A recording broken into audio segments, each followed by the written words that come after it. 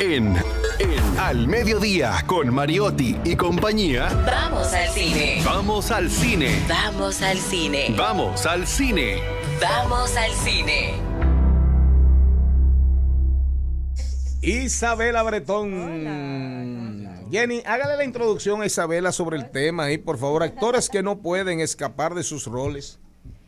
Tenemos aquí una directora, escritora, guionista que sabe y que ha dado seguimiento cercano a cada uno de esos actores que nunca han podido desmarañarse, desentrañarse, quitarse esa piel que encarnaron tan bien en el séptimo arte. Con nosotros, Isabela Bretón.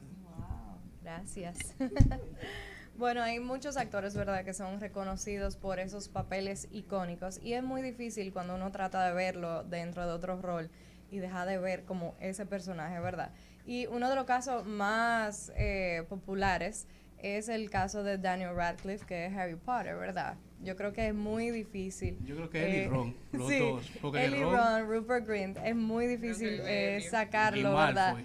Exacto, y Malfoy. Y yo creo que eso siempre viene después de grandes franquicias así, sobre todo que duran más de una década. O sea, eh, sobre todo en el caso de él, él trató de, de una vez de que terminó la, la franquicia de Harry Potter, trató de ser The Woman in Black o la mujer de negro.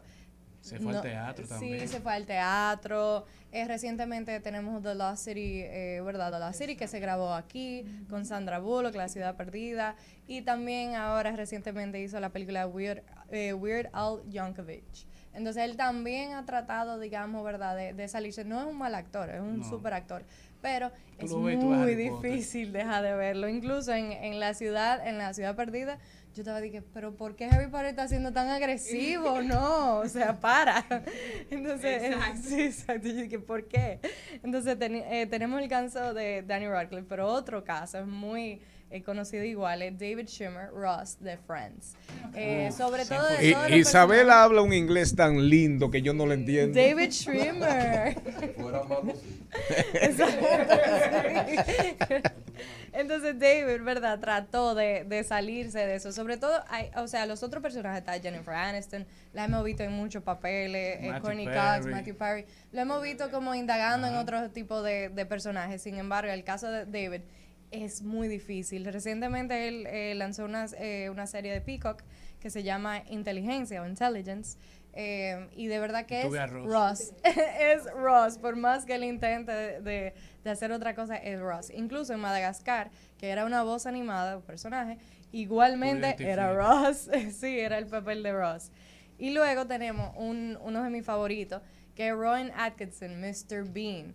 Eh, Mr. Bean, ¿verdad? Una serie que fue del 1990 al 95, cinco años, pero posterior a, posterior a, a la serie hizo películas, eh, A mí me aparecía de todos los lados. A mí me encanta Mr. Bean, o sea, es una serie que cuando yo me siento mal, yo pongo Mr. Bean y automáticamente me siento mucho mejor. Él también hizo Johnny English, que era como una especie de Mr. Bean que hablaba. Entonces, eh, igualmente, un James Bond, ¿verdad? Como una parodia de James Bond, exacto.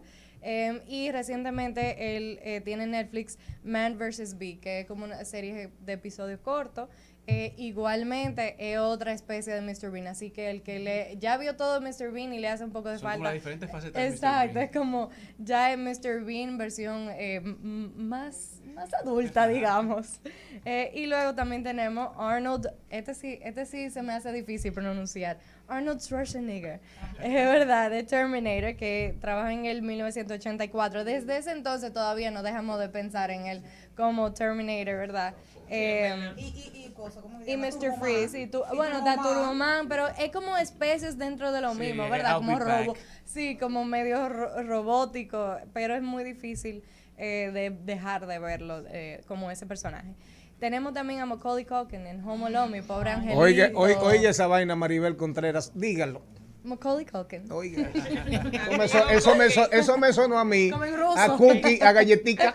Y, y- y yo pensé A como. cupcake me sonó eso a mí. Y a mí me, me sonó como a dulce de coco. Oye. Allá en Monteplata. Sí, Es verdad.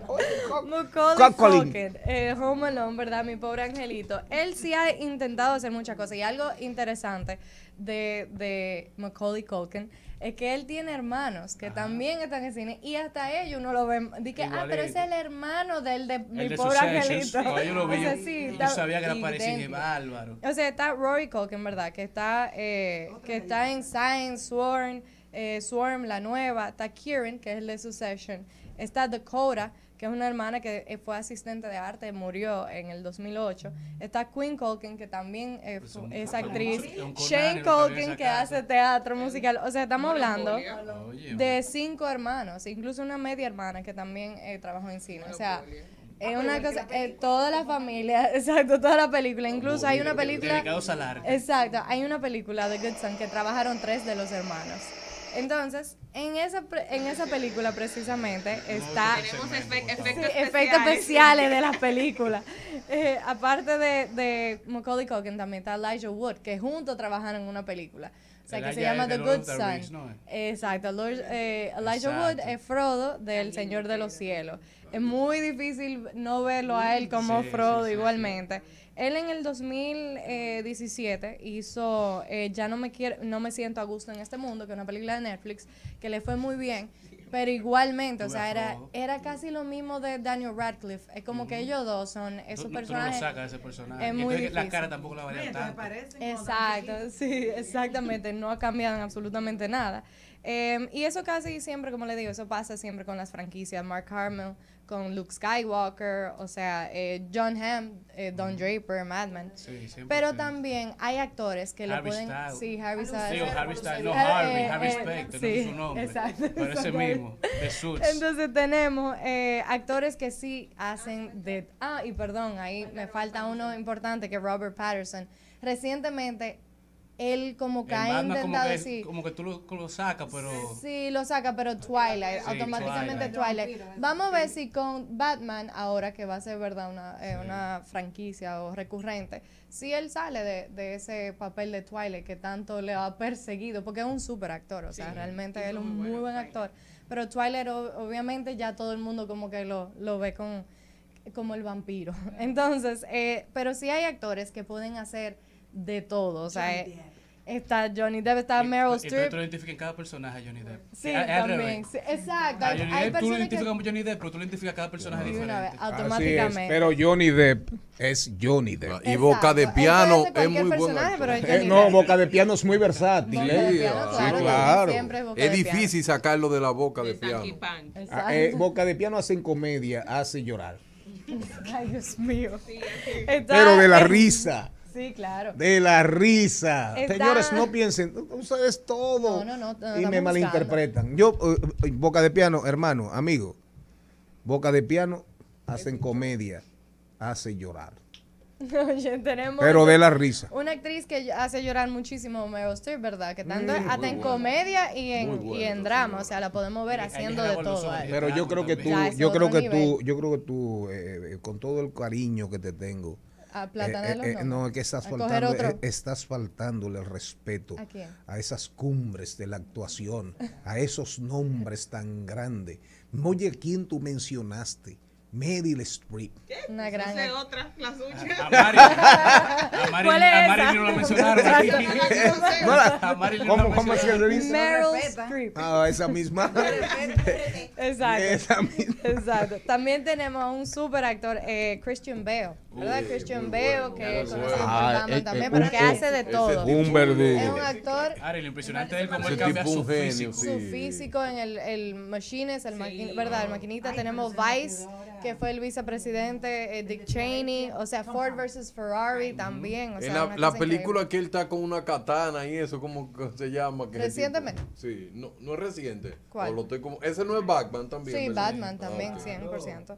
Y también tenemos Tom Hanks. Tom Hanks también Ah, recientemente lo vimos en Elvis, eh, lo vimos en Un vecino gruñón. Como uno atrás del otro, él puede tirar una película. Forrest Gump. De lo que le dé su gana. Claro, y son dos mundos aparte De lo que le dé su gana. Claro, y ¿Eh? siempre Yo son sé, eh, buenas. ¿tienen Evelina ahí ya?